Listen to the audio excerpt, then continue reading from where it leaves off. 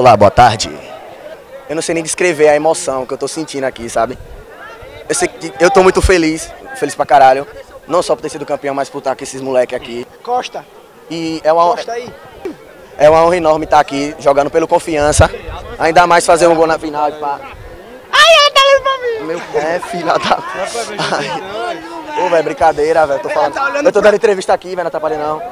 Mas é como a gente vinha conversando em todos os jogos. Se um vem mal hoje, o outro não precisa afundar ou reclamar, tem que dar a mão e puxar ele de lá do fundo do poço. E graças a Deus fomos campeões, né? Mão de alface.